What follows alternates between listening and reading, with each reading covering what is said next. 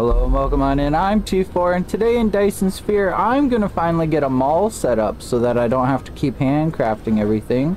Let's get into it. For those that missed my last episode, I finally kicked the dark fog off of my planet and I got everything that could be done in the smelter set up right here and ready to go. Between episodes, I kind of set up this guy here, which is basically the same thing I did with the smelters except with the assemblers. So that if it can be done in an assembler, it's done here. And then I've just looped it all around over here in this nice pretty display of belts. And I've started working on the mall. So if we take a look, I have planned out what buildings are going to be built where. Now I just need to get all the belts set up because, you know, that that's always I mean, this many belts is a lot of belts. Thankfully, we have these guys here, the Battlefield Analyst Base, and they they just make this process so much faster. So, let's get some of these belts put in, shall we? Oh, and the one thing I did make a mistake of is my blueprints uh, for the the up for the belts is is a little big. So we're gonna we're just gonna do this. We're gonna go into our blueprints. We're gonna make a new one, and what I'm actually gonna do is just copy like say this much of one. Right? How many pieces is that? 300. Look at that. I didn't even plan that. That's totally by accident. Um, I'm actually to pull this back a little bit. Maybe to like there. Like remove that. Can we remove that? How do you remove it? That's alright. I'll just redo it then. Alright, we'll do that. Alright. I'm just to go to use now. And then we'll just, we'll just stamp this down a couple times. Oh, where's it colliding? Oh, that's fine. We'll just shift enter that. And then I'll just have to remember to like actually hook them up. You know? So I'll get this done and I'll be right back. And voila, got all the belts in. Nothing surprising happened, thankfully, thankfully. Uh, now I just gotta hook up all the buildings, which isn't too bad either with uh, with this setup. It's actually pretty nice. This is um, the Nilaus belt, I'm gonna call it, or the Nilaus Mall. Um, I hope I'm saying his name right. And I'm only saying that because he was the first creator I saw do this method, and it just, I love it. It looks so much neater than what I usually do. It just, oh, I, I love it. So we just take a look here. What do we need? We need iron. Or what do we need first? We gotta take a look. Okay, so we need... What are they called? I don't know. We need these guys first. Magnetic rings, I'm gonna call them. Right, and then we need iron. And then we need green circuits. And then gears. Where's the gears? Oh, and this is perfect. Look at this. So I screwed up a little bit here and you're probably thinking, well, how are you going to do that without deleting your belt? And I'll show you because oddly enough, there's enough room, right? If I go like this, it'll still, it'll still go. It'll still jump the one belt you want it to jump. Mind you, you can just redo it so that it looks neater, but it'll still jump and you essentially get three layers out of your belts this way. Oh, I love it. Love it. All right, so I'm gonna hook up the rest of these and I'll be right back. All right, we've got them all set up. I did fix this one over here so that it, it's running properly without the weird jump in it. I've got all these guys set up. Doesn't that just look so much neater? And when you look at it from the planetary view, it's just, oh, it's sexy. It's sexy. I love it. Alright, now, if I remember correctly, I have a power problem. Do I have a power problem? I don't have a power problem. I fixed it. So what I did was I just handcrafted a whole bunch of solar panels and I just started wrapping the equator. I'm sure I'm going to need more eventually. But now that I've got them on the mall right here, it's going to be so much easier to just grab them and hook them up when I need to. Uh, but I think it's time to get some red science going. Let's take a look.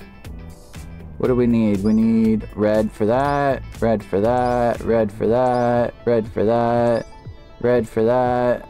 Is there anything that needs just blue science?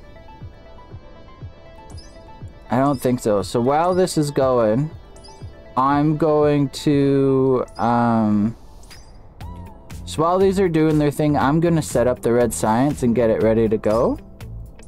Because uh, I can't really advance anymore without it. So let's get that going. So I just set up my oil field right here. Nice and easy. A couple of buildings anyways, you know. The three of them were all together. I may as well tap them all at the same time. Um, and I just pulled the graphite. Is it graphite or graphene? Too far away. I just pulled the graphite from right there, which is why I set up where I did. And now we've got the red science going. And as you can see, I just pulled my blue science from uh, way over here. Where it was already set up and stored. I didn't see a reason to set up another one when I already have a solid store supply over here. And now I can start plugging away at my red science. Which of course is fun. I'm gonna aim for the fidget spinners. Which is uh, this one here so we can get this stuff going and it, it just it saves running spaghetti belts everywhere because then you can start transporting stuff that way. Also it saves me having to go into these buildings all the time to grab stuff because I can have them automatically delivered to me. It's exciting. I'm excited. But let's queue up some science and uh, let's see what we can do. What do we need for you to want to magnetic levitation? Ooh, let's get that going we'll get that started and then we can work towards our fidget spinners. Alright, so now I need to expand the mall so I can actually get all this stuff going. But as we can see, oh, I've got some vein utilization done too. Awesome. But I've got them. Oh, have you guys seen this trick yet? So you take the splitters, is that what they're called? What are you called? You take a splitter and then you can put the storage depot right on top of it.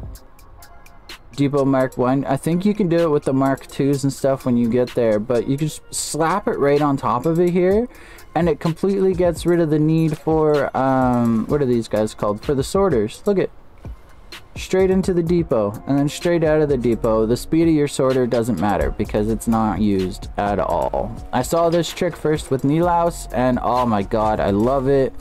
And i'm obviously capitalizing on it everywhere. But let's like i said i want to get these fidget spinners going so let's let's crack on. All right so i've expanded the bus a little bit. I've got the hats here being oh wait well i still gotta hook them up but that's the plan for those I've got my missile turrets being built. Oh, I'm gonna have to bury this. I don't really want to, but I'm not really sure what else to do with it because it's right in the way. Let's hook this guy up and then we'll uh, we'll keep going. Okay, so I am starting to run into some power problems. So I uh, I just made a little bit of a power field here. Um, these are a blueprint that I have from an old save. I should probably redo them. Um, but you know, it is what it is. So all I've done is I've mined some coal or I tapped some coal uh, and it, I'm just running it all on a belt over to the uh, thermal generators. There's a coal there I'm going to tap as well eventually. Yeah, so we got some more power going and let's check on this bus. There's my green motors hats. There's the fidget spinners. We can start setting those up. And as you can see, I've got some of the more advanced logistics and stuff going as well. And I did end up just burying this vein here because it, it was right in the way and it's, I don't know, it's, it's copper. It's not that big of a deal to bury copper, you know what I mean? Alright, so I got the power sorted. What do I need to do next? Are these guys hooked up already? They are. So what do we need next? Should probably get some of this other stuff going.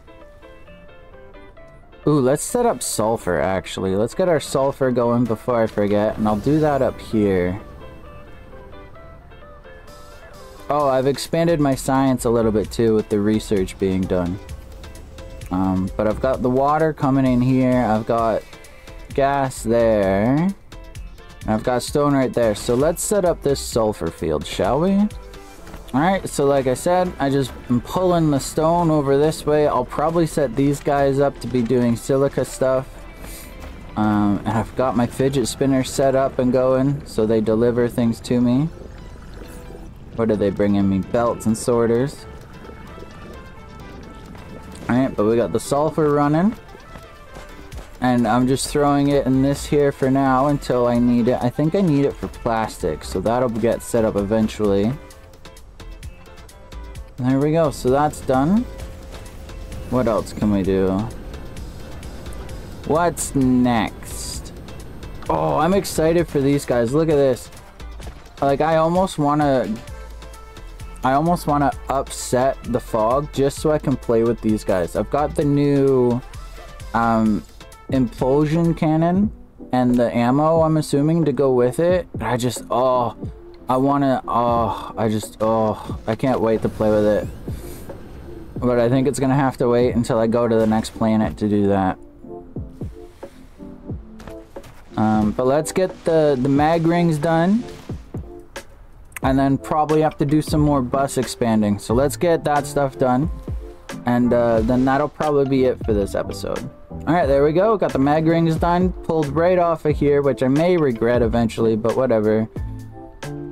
But I figured if I kept it back here, it would be easier to add on to the bus without making like a whole bunch of mess. And then I'm probably just going to continue this pattern as I unlock new things. Have the buildings on that side and have the production on this side. And just keep working my way down the bus. But that's going to be it for this episode. Join me next time where I'm just going to keep plugging away at expanding the bus and keep plugging away at the science. I'm T4. I'll see you later.